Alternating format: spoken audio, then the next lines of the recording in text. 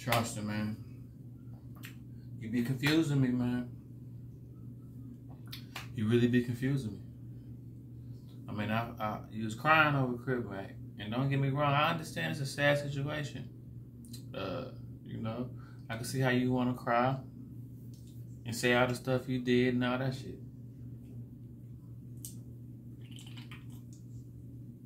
When you say you pimping the internet, nigga, you really pimping the internet for real. You really is pimping the internet, but I say this nigga didn't call the police on Crip Mac. You didn't did. You didn't call the police on this partner in jail, try to get his partner's cell phone took. You didn't call them all kind of stupid motherfuckers and all this shit. Just when you went on your Cali tear, you know, Crip Mac was at the front of your Cali tear. I just watched another one where he was on a whole little tear. I fuck with you though, but it's like, damn, this nigga, it really, I ain't gonna lie. Cause see, I'm, I, I got good intentions. I got good intentions, you know what I'm saying? But I seen you pimp the internet, and I seen how many people was gullible for the shit you was doing, that wouldn't notice the fucked up shit that you would do. And I said, damn, I can do that shit. And I'm gonna be a positive. I ain't gonna have no sinister motives. I ain't gonna have no. And see, the thing is, I realize you don't mean no harm. You just you just a little thrown off. See, with every every brilliance, whenever every brilliant person comes a little insanity, but then some people is not aware of their insanity as much as you are. Nigga, you don't be in character, nigga. That really be you. You really jealous of Cali for brainwashing you. You really jealous of that. You really mad about how Cali brainwashed. But don't get mad because Cali brainwashed everybody in the late 80s, early 90s. The West Coast brainwashed the whole nation, so don't be so mad. You know what I'm saying? But yeah, you crying and shit. And I mean, don't get me wrong. It's something that make you cry. It's something. It's sad. Show y'all my, show y'all my back real quick. I got sidetracked. I want to show. Anyway, yeah, it make you want to cry. Yeah, it, it's. But it's just. See, that's where. Okay. You ready to cry for Crip Mac, but you ready to spit on Nipsey grave.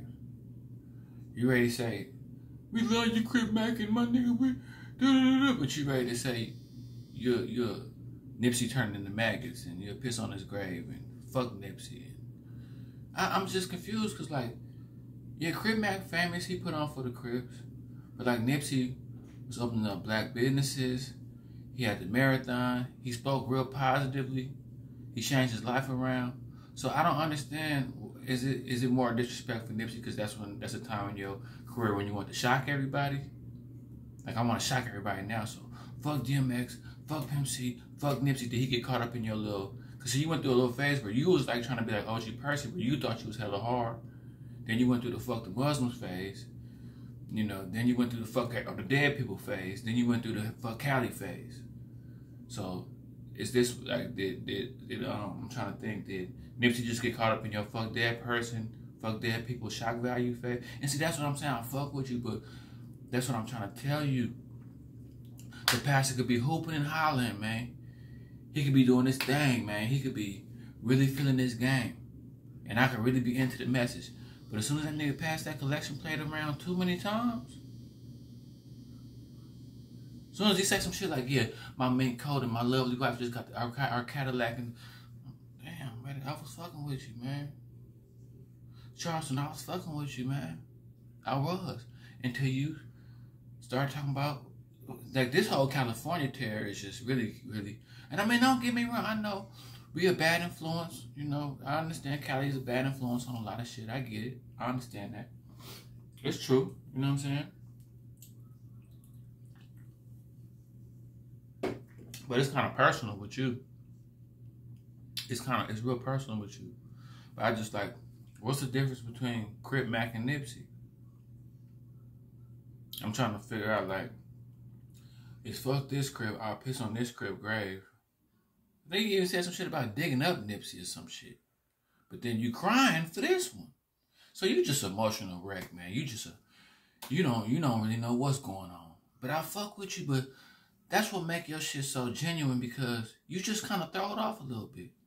See, you saying fuck Nipsey counsels you out from feeling bad for Crip Mac because you already said fuck Crips, fuck Nipsey, And I think Nipsey was more of an upstanding person than Crip Mac was. Crip Mac kind of seemed like a big kid a little bit. I guess he more of a you would feel comfortable around Crip Mac because you probably could outwit him and probably out talk him or whatever. But Nipsey, you know, Nipsey would probably look at you like he was a, a bum or something, or Nipsey looked better than you. Nipsey was younger. Nipsey probably would have made you feel uncomfortable, so you feel more comfortable giving, you know, uh, Crip Mac his love. But it's, it's fuck Nipsey. So I get it. You know what I'm saying? I, but it just, you really pimping. I give it to you, boy. Crying and stuff. I said, look, I say, boy, this nigga here is, you a cold piece of work, boy. You's a cold piece because you went from saying fuck out to crying. And I mean, I get it. My heart went out to, I made one earlier about what happened to Crip Mac. I don't like gangs neither. You know what I'm saying? But just, you got to start being accountable for the shit you do. You got to start being, like, you should have just sat back and said, well, man, I can't say nothing about this because, I mean, I already dogged all the Crips. I already dogged Nipsey man, that's fucked up. You might have could have said just a little piece, but for you to try to turn this into this is your next little phase. Like you didn't. This is your this is your next little wave. Now it's, it's got a lot of views. You just you know made uh, two videos about it, so you riding this out. And I think I think you respected the fact that Crip Mac didn't respond to you, so that made you like him even more. You was while you was terrorizing Crip Mac, waking up talking about him every day, talk, talking about him like a dog.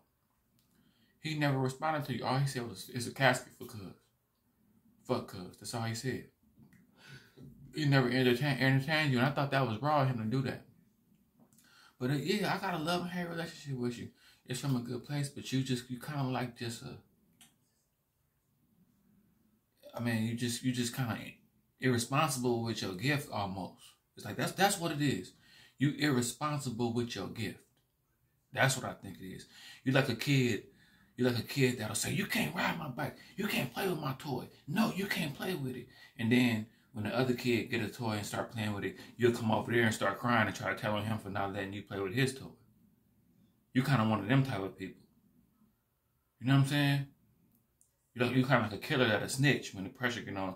A killer that the, the most the most certified killer in the whole clique, and then you're gonna take everybody down when you get caught. You of them type. You just one of them type of niggas that's just you you irresponsible with your gift. You know what I'm saying? But I get it though. You when they, when you say you pimping the internet, nigga, you mean that shit. You ain't playing. You really pimping the internet. I say, people all in the comments, man, it's the realest thing I ever heard Charleston White say. Man, that's crazy, man. Like I, I used to not respect Charleston, but now I have a whole like people really, really falling for your game, cause you didn't even have me kind of even I had to, you know, I had to bounce, but shake it up, and remember who the fuck I am. I, you know, had me and almost had that lump in my throat, cause then I had to remember who the fuck I am, and I had to remember who the fuck you are. You, you really pimping the internet, my nigga.